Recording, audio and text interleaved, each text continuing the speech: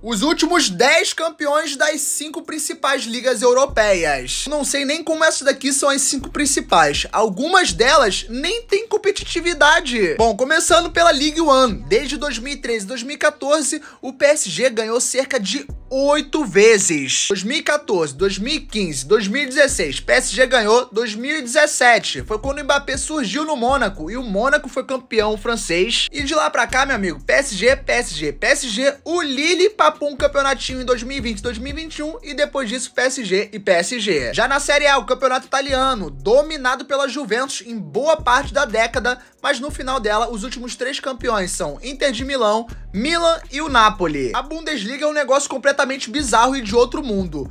Desde 2013, 2014, o campeão é o Bayern de Munique. Os caras não devem nem mais comemorar esse título. Mas é bom ressaltar que na temporada 22-23, quase que o Bayern não é campeão.